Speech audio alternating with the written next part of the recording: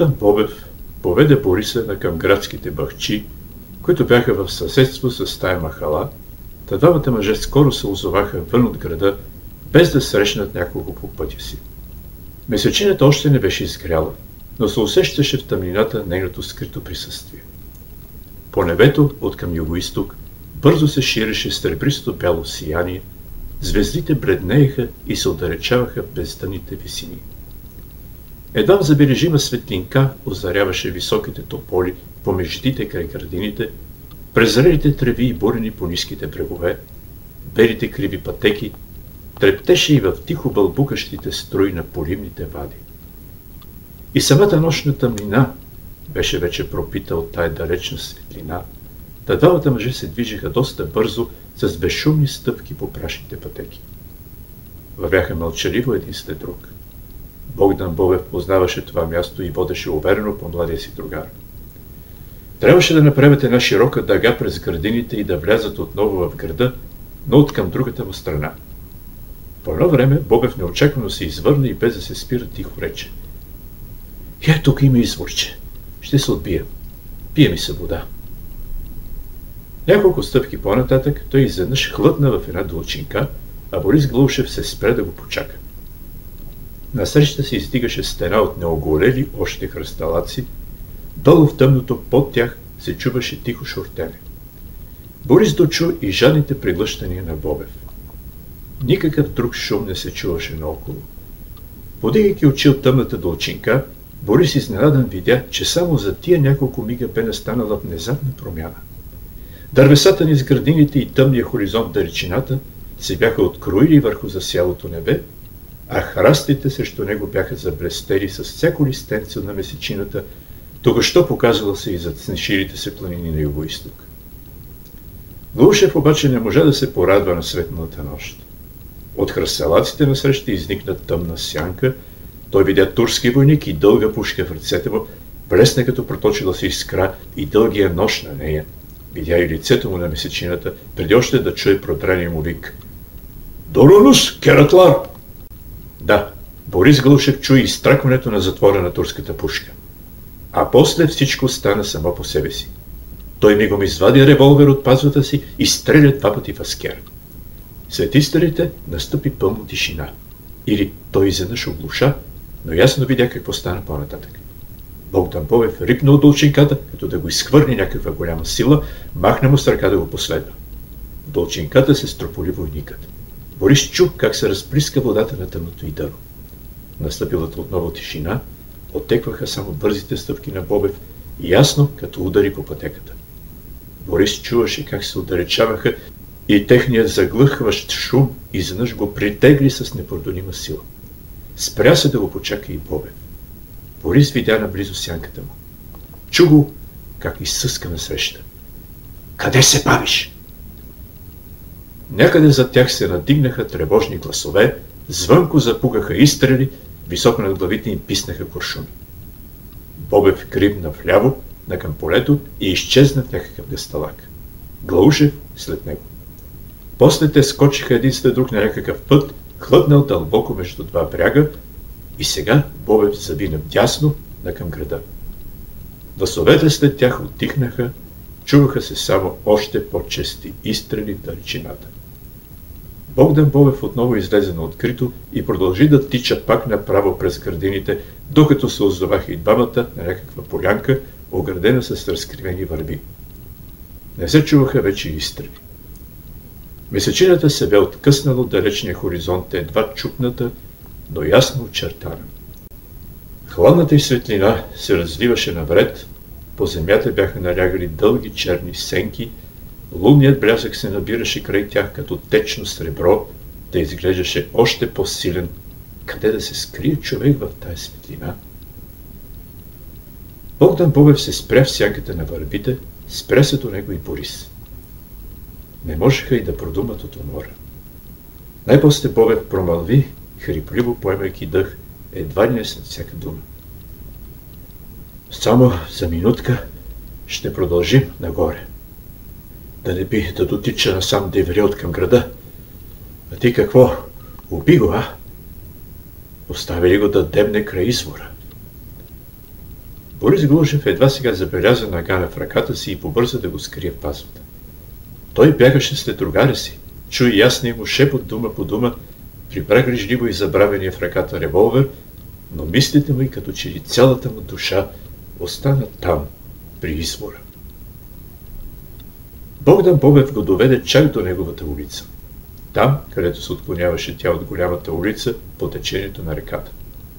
Разделиха се.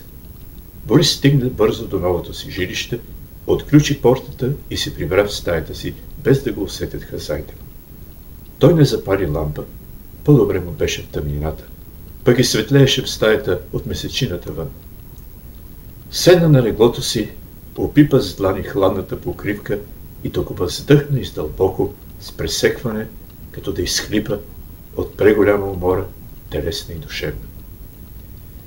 Сянката на турския войник не се махваше от пред очите му, като онова черно петно, когато сме гледали в слънцето. Стоеше турчинът, заритнал към него с пушката си.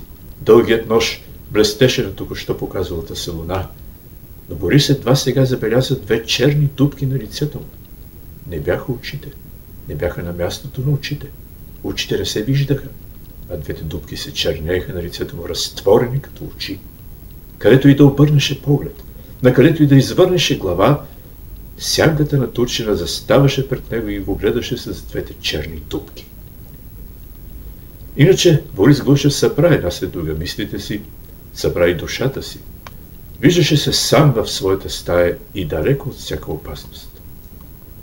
Турците бяха загубили следите а по-късно, докато минаваха те двамата през града, срещнаха само неколцина закъснели минувачи. Никой не го забеляза и по страничната, рано заспала улица, докато се прибра в жилището си. Сега той не се боеше от турци, от врагове някакви. Боеше се от своите собствени мисли и от тия две черни дубки, побелещото се пред погледа му лице. Не за пръв път дигаше оръжие срещу живи люде и може би не за пръв път убиваше. На позициите в Дейврищите пред време на възстанието бе стрелял с пушка по аскера. Просто и ясно беше всичко. Водеше се безпощадна борба с турците. А турците пазаха с оръжие и сила своята държава, своето господство. Борбата беше безмилостна и Борис Гължев не можеше да стои вън от нея. Не можеше да измисли друг, по-човечен начин за борба. Нямаше друг начин. Турците определяха начина, робството и насилието създаваха убийци. Но защо беше така? Защо не можеше да намери начин за разбирателство, за помирение между хора? Не можеше да се намери такъв начин. Едните бяха над другите. Най-сетне и това беше ясно, мъчително ясно. Ала мъката не спираше до тук. Мъката продължаваше още по-голяма нататък. Дали не би могъл той да избегне тая вечер убийството? Дали не бе избързал и то не с един, а с два изстрела? Той нищо не помисли във фаталния миг. Ръката му сама постегна към револвера в пазвата. Да бе насочил само револвера срещу турчина, да го бе накарал с револвера в ръка да хвърли пушката си, да се махне от извора, докато те с Бобев се отдалечат. Мъката не спираше и до тук. Борис виждаше все по-ясно убития войник. Беше много млад, не можеше да бъде стар, щом беше войник, а той бе го убил, прекъснал бе младият му живот. Той го виждаше ясно. Виждаше сякаш и целият му живот, като някаква светла, пъстра ивица и там някъде, някое надолско село, го чакаше майка му или младата му жена. Как би могъл да заспи с тия мисли?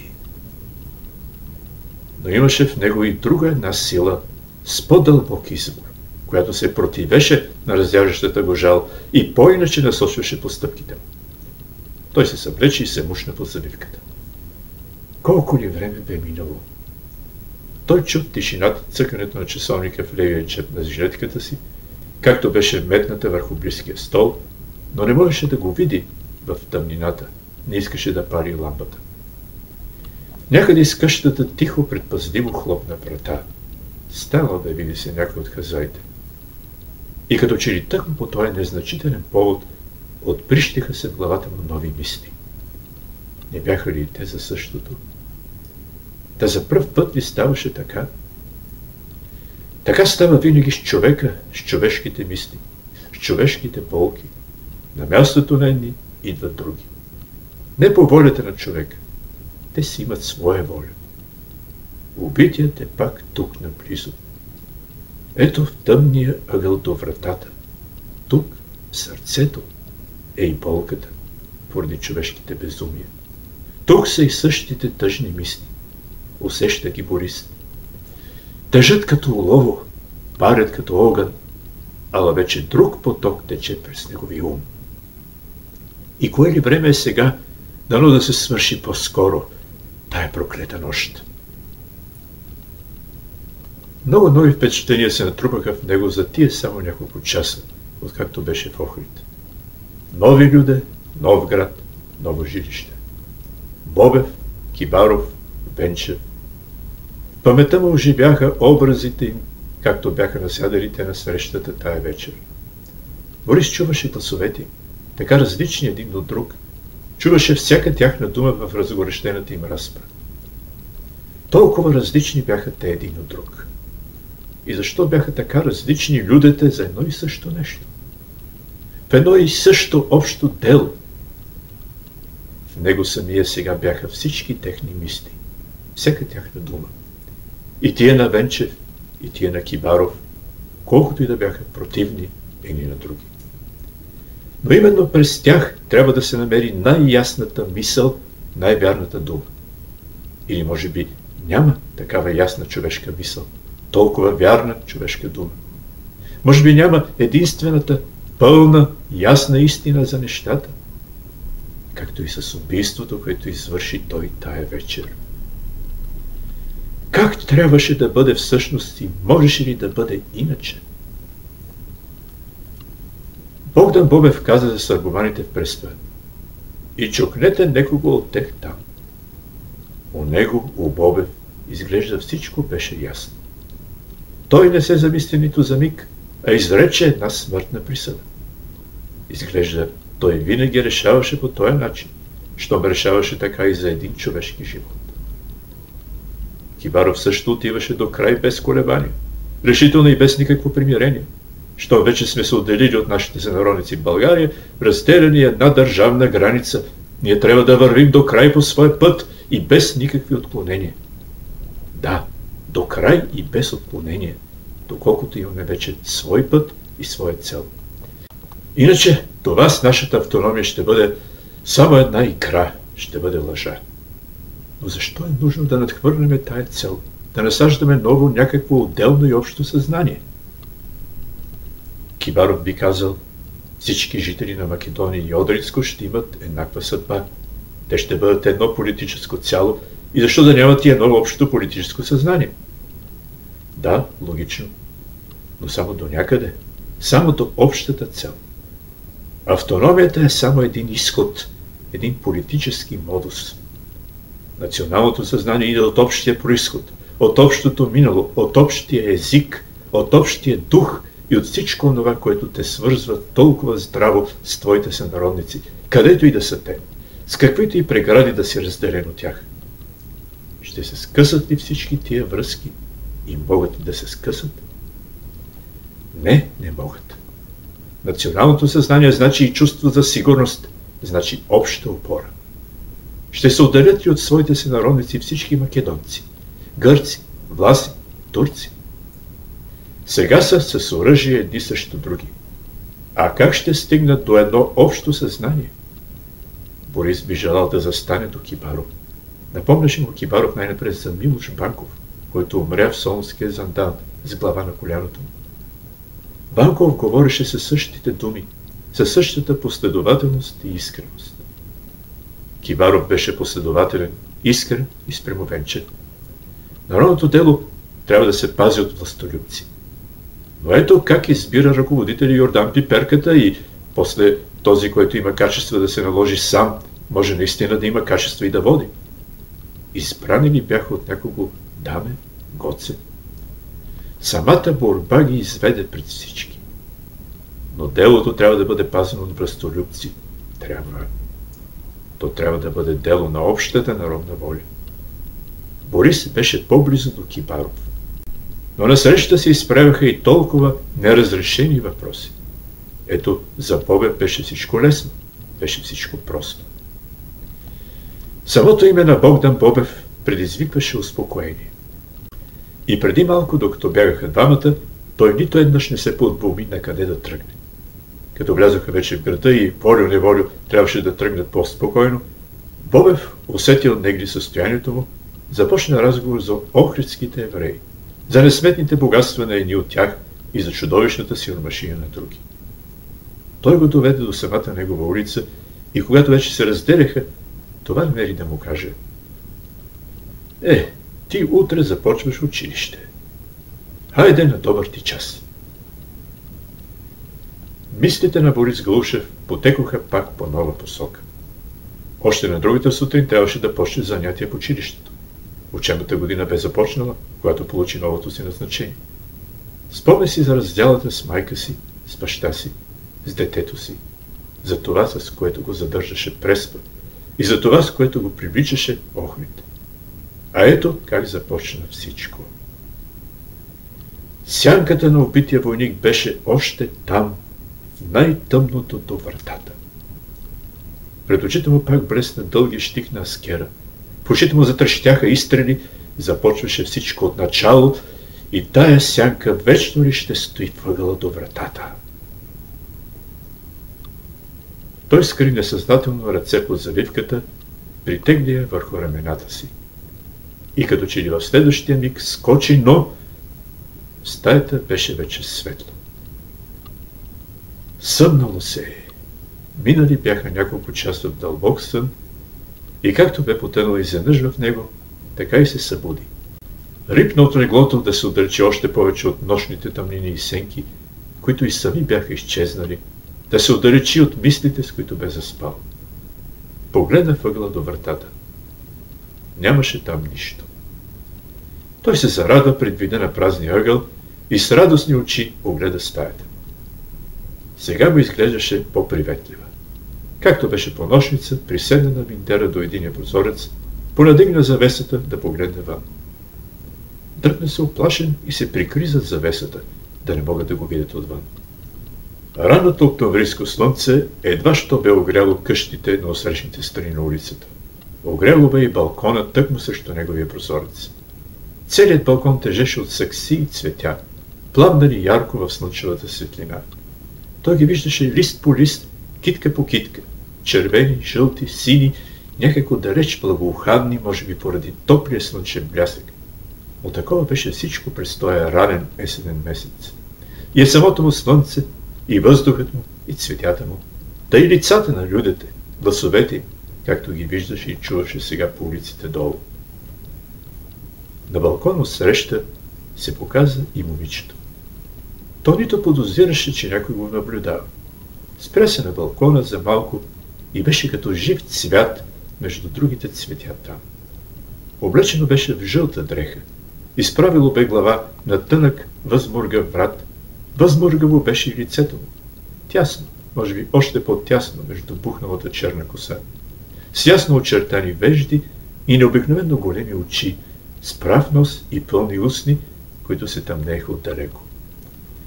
Борис виждаше чертите му на слънчевата светлина и по-ясно от всичко друго неговите големи очи, отворени спокойно, с блеснали тъмни зеници с гъсти черни мигли, доста раздалечени едно от друго.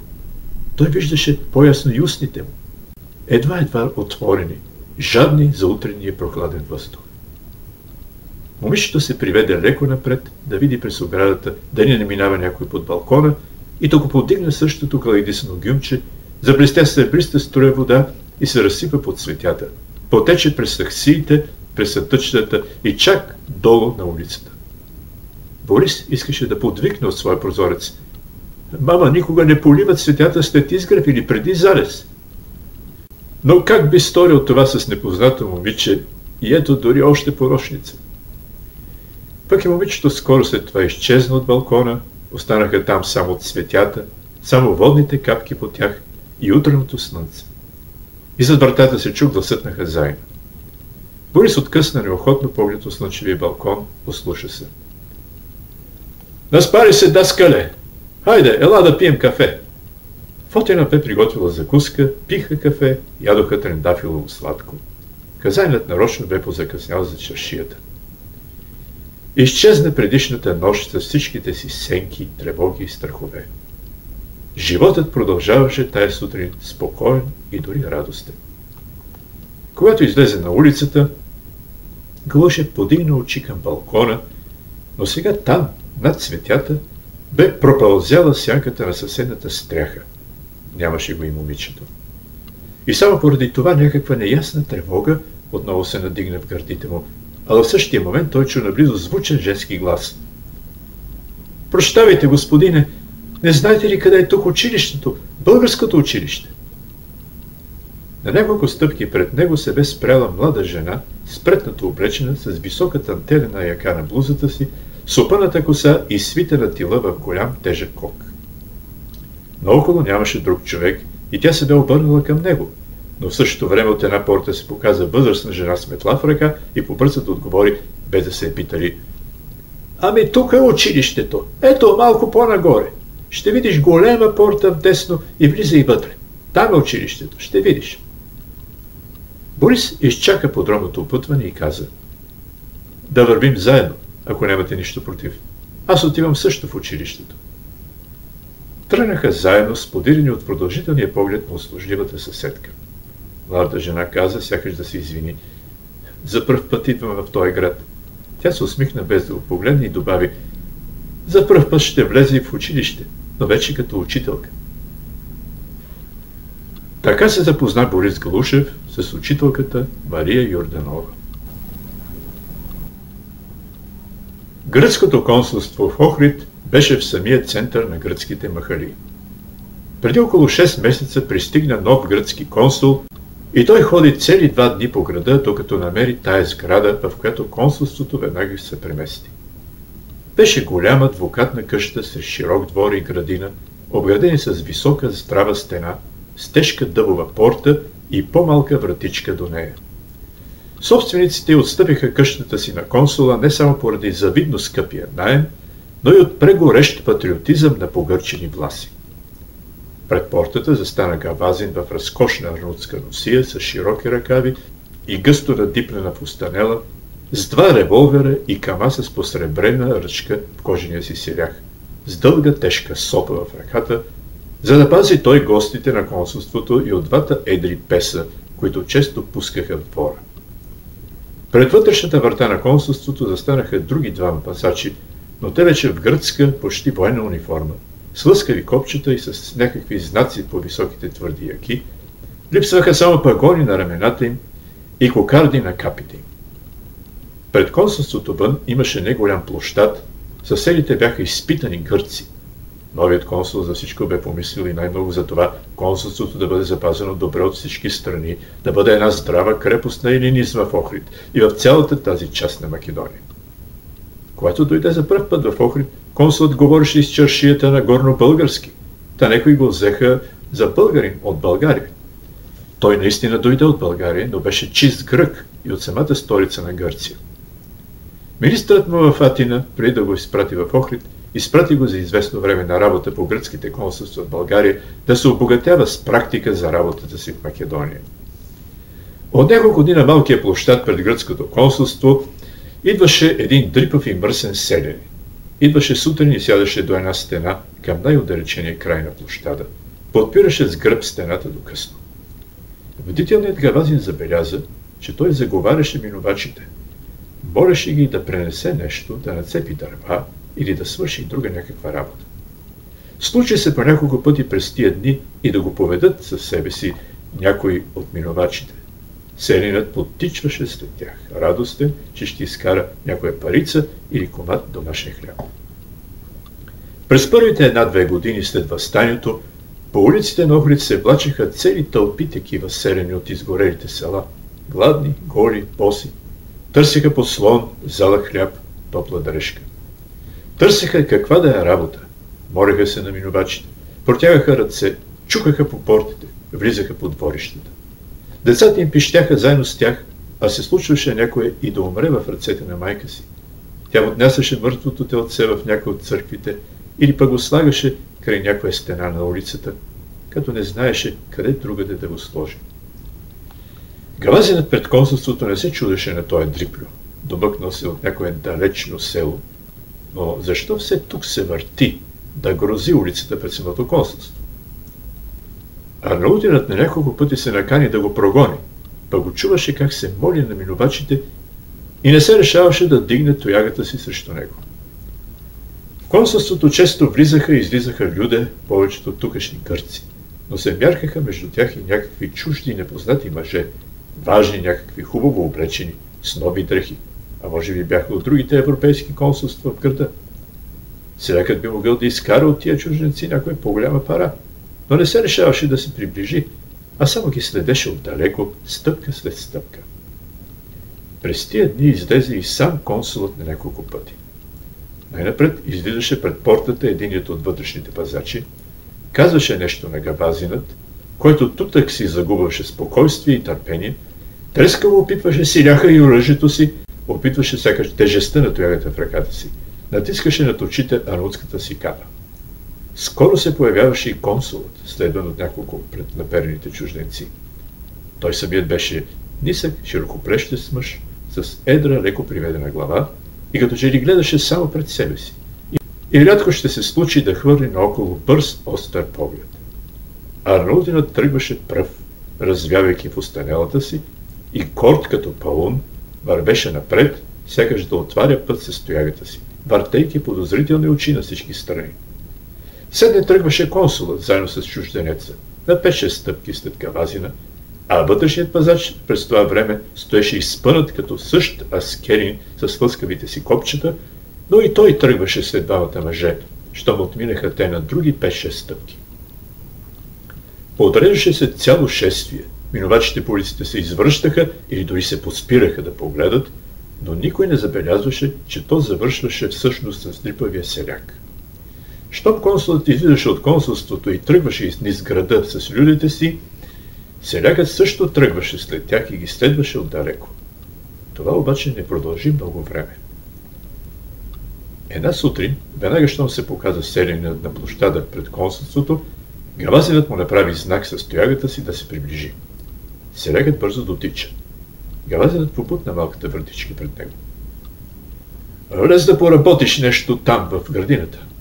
Те ще ти кажат там вътре. Селякът влезе и виждаше се с някакво нетърпение. Гавазина дръпна вратичката, затворя след него. В двора на консулството го посрещна един от вътрешните пазачи и му каза нещо на гръцки. Селянът не го разбра и разговорът им продължи с знаци. Заведе го той най-напред в отварницата на консулството. Една ниска тухлена постройка към заната част на главната сграда. Готвачът и помощникът му бяха започнали вече всекидневната си работа. От голямата зидена пещ лъгаше горещина. Широката и желязна плоча отгоре беше силно нажежена, по многобройните колерета бяха наслагани лъснати тенджери, в един голям тиган свърчаха шумно тестени къщчета, които бързо пухваха в кипящото масло и щом ставаха златисто кафяви, готвачът ги събираше с една раззалятена дупчена лъжица и ги слагаше в широко блюдо. Селягът въртеше очи с широко разтворени ноздри, докато пазачът му направи знак да седне до една паса, а помощникът на готвача сложи пред него обилно ядене.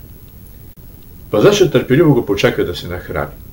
После все така с знаци и недоизречени думи го изведе в градината и му нареди да прекопае голяма част от нея. Копа селения до пладде и прекопа широко място. Пазачът се навърташе все около него. На обед селягът яде пак в отварницата, дадоха му този път и една голяма чаша вино. Като го посрещаха и гощаваха така, той се попусна, откъса се няколко пъти от провесените гранки на дървесата едри късти ябълки и круши, да разхлади гърлото си, опита се да разгледа по-нашироко градината и двора, въпреки че при всяко негово мръдване на една или на друга страна, пазачът отеднъж изникваше на среща. Когато прекопа селенинът посоченото му място, пазачът го поведе към най-отдалечения край на градината, който беше цял затулен от високо израснали бъзови храсти и там му нареди да изкопае една дупка, широка две на две крачки и дълбока до човешки бой. Селягът опита с копачката колебливо. Толкава дупка за няколко часа, колкото оставаха до стъмване. Пък и беше вече уморен. Защо не каза по-рано, петък ми се той да се откаже, макар да знаеше, че гъркът няма да разбере приказката му. Пръста беше влажна и мека. Целият се примери най-сетне. Пък докъдето стигна. И утре е. Когато почна да се сдърчава между сенчиците хръстолаци на градината, копачът бе стигнал вече до към рамената си в дупката. Пръста беше все така мека, копането вървеше бързо, но селякът бе работил през целия ден и му ставаше все по-трудно, колкото влизаше по-надълбоко. Започна да го обхваща и някакъв смътен страх, като се виждаше така потънал.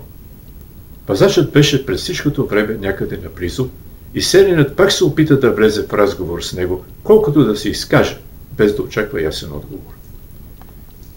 Стига вече, да дойда утре да довърша. Гъркът само притисна устни, приповдигна ramена. Селякът продължи. А защо ли ми е такава дупка? Бунар ли ще правите? Вар ли ще гасите? Букулка ли ще събирате в нея? Дявол ви знай. Пазачът и този път нищо не отговори, нито би могъл да отговори. За дупката знаеше сигурно само господин консул. Консулът гледаше повече пред себе си, като че ли нищо не виждаше, но забелязал бе той селяка на площада пред консулството при своите излизания в града.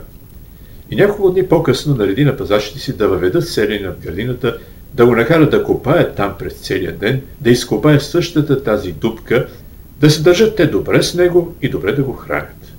Сега, при вечер, консулът седеше зад писалището си, ала не в кабинета на долния кат на консулството, където посрещаше всичките си посетители, а в малкия кабинет на горния кат до спалнята. На две-три стъпки пред писалището седяха изпънати на столовете си двама от горделивите млади мъже, които се навъртаха в консулството. Седяха те с строг почтителен израз на грижливо избръснатите си лица, а единият от тях беше и с обръснат лъснал череп. Дигнал към той последният открит настойчив поглед, консулът рече. Докладвайте, поручик, най-напред за Мелас. Поручикът преглътна, но запази спокойствие, макар това да му костваше големи усилия. И започна с твърд на дебелял глас, който все пак издаваше неговото вълнение. Получиха си подробности.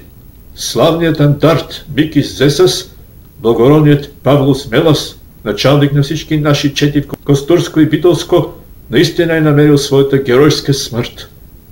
Безстрашният воин и отмъстител на 17 септември близа щета си в село Прекопана, хваща българския свещеник, също и българският учител, които са били страшилища за околността и ги наказва със смърт. Попът не искал да умре лесно, да са му отсекли главата.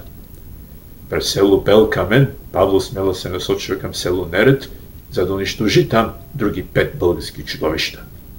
На 19 септември цялата чета на Мелас е събрана в една къща и се готви да нападне кафенето на селския площад, където са петимата злодеи.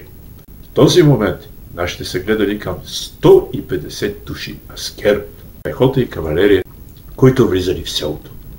Преди да успее да ги задържи, началникът им, 5-6 души от четата му, неопитни и страхливи, спуща се да бегат към близката планина. Последват ги и другите. Къщата остава само Мелас и още един от другарите му. Когато малко по-късно и той стига в полите на планината, цялата чета се е разпръснала, а някои са се отдалечили твърде много. Турците са открили страшен огън по нашите. Консула се придръпна на стола си. Но как? Това за първ път се случва. Да, за пръв път. До сега нашите благополучно се разминаваха с Кера.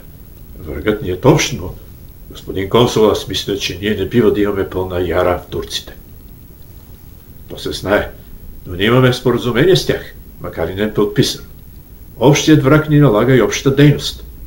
Вие знаете, наши офицери предложиха да постъпят в турската армия за обща борба срещу българите.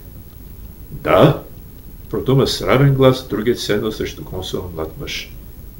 И аз бях между тях. Консулът мълчаливо му кимна и се обърна пак към първия. Продължавайте. Искам всичко да знам. Макар и са закъснени. Строгото лице на поручика придоби някакъв тържествен израз, гласа му сега се дочуваха дълбоки плътни звуци. Началникът се оттегля на почивка в село Елеово. На 8 октомври от Гърция пристигат нови 40 души наши хора. Една част от тях заминават за Воденско, а други остават в Смелост. Четата му нараства до 60 души и на 10 октомври се връща пак в Неред, за да накаже уния петимата разпойници. Тук му съобщават, че в селото има българска чета. Седем души. Нашите обсаждат квартирата им, откриват огън, стрелят и комитите отвътре. Къщата била много здрава и нашите се опитват да я запалят. Виждайки, че не се постига нищо, Мела Сподир два часа заповядва да се дигне обсадата. Комитите хвърлят бомба, която ранява един от нашите борци. Поръчникът млъкна за малко и лицето му сега беше мрачно. Когато заговори отново, гласът му бе позатикнал, но звучеше скръбен и гневен в същото време. Между хората на Мела се имало недостойни за нашата велика идея, недостойни да бъдат другари на такъв един герой. Консулът подигна вежди, избрещи очи, но нищо не продуга. Поручикът кимна рязко в отговор на избрещения му поглед и продължи с още по-затихнал глас. Да, едни се оплаквали, че са болни, други, че са им били скъсани цървулите. Началникът изпраща болните в Белмекен и с 35 души се отправя за село Статица. Тук това проклето село Павло Смелас намери своята смърт. Нашите били разпределени в квартири. Подали българи от това село накарали кмета да съобщи с писмо до Аскера в съседното село Кономлади, че ти и тия къщи в селото и квартирува четата на българския войвода Митре Влаха. Подреците мислили, че само по този начин ще привлекат Аскера в селото си. И наистина, това съобщение било протелеграфирано в Костор и Лерин и от всички страни се насочил Аскер към статица. Тук поручикът отново млъкна и наведе очи. Той продължи с затруднено дишане, с пресекнал глас, али и с нарастващ гняв. Началникът пристигнал в статица с четата си през нощта на 12 октомври, след като пътувал 8 часа под пороен дъжд. Тук нашите прекарали остатък от нощта и другия ден. Излизането било опасно. Могло е да бъде забелязано от български селяни, Селото има 80 къщи, почти всички са български. Началникът чакал да се стъмни, пък и дъждът продължавал. Към 4 часа по шосето, което минава през статица, пристига Аскер към 120 души. Началникът заповядва нашите да се крият. Войската отива към центъра на селото, но после се връща и почва да разбива с приклади и секири вратата на една от квартирите на нашите. На 30 метра от нея била и квартирата на Мелас. През цялото време нашите не предприемат нищо, понеже имали заповед от началника да не стреля срещу Аскера и дори когато са заставени, да стрелят във въздуха. Така направили 8-те души четници, които били в нападната квартира. Тогава войниците оставят вратата, вземат позиции на среща и започват силна стрелба. По останалите квартири не става нищо. Турците нищо не предприемат. Щом се стъмва, началникът изпраща по другите квартири заповеди какво да се прави, но пратеникът му не намерил никого. Нашите, обладани от паника, са се пръснали из близката гора. Като вижда Мелост, че е така мизерно изоставен, решава да се притече на помощ на нападнатите с малкото си хора и им заповядва да излязат. И тук обаче той се оказва нещастен. Нито един от четниците, които са били с него, не се решава да излезе от квартирата. Възмутен, той излиза сам и стреля срещу турците. Турците го забелязват тъмнината, стрелят и го раняват. Той е бил принуден да се върне при хората си, но те и сега не проявяват никаква смелост. Измъчван от раната си, въздъхна поручикът, но продължи се за силен глас – началникът, подобно на старите арматоли, помолил да му отсекат главата, за да не падне жив в ръцете на турците, но те и това не направили. И Павло смело се е застрелил сам с пистолета си. Поручикът млъкна. Мълчаха един дълъг миг и тримата мъже с наведени очи. Слава на героя! продума консула с издръзгавял глас. Той ли беше полубог и умря като полубог. Дигна ръка вторият от двамата офицери. Той дори се изправи на нозе с прекомерно вълнение. Павло Смелос, безстрашният андартски началник и войник на Гърция, даде живота си за нея, за славата на илинизма, за нашата велика идея. Другите двама мълчаха, загледани пред себе си. Седна на мястото си и той. Консулът рече. По-нататък, поручик. Поручикът трепна. Може би се откъсна от повлекли го мисли или пък искаше да покаже колко дълбоко бе засегнато от трагичната смърт на героя, седне той наново дигна поглед към своя началник. След героичната смърт на Мелас, петимата негови другари в квартирата му, подпомогнати от настъпилата гъста тъмнина, преоблечени, излезли един по един от къщата, като изоставили тялото на началника. Докато става всичко това, осмината наши в осрещната къща продължавали стрелбата с турците и чакали помощ отвън, но на празно. Така минала нощта. Сутринта те всички са се предали на турците. Консулът отеднъж се изтръгнал своята задържаност. Разпери и двете си ръце. Но как така турците?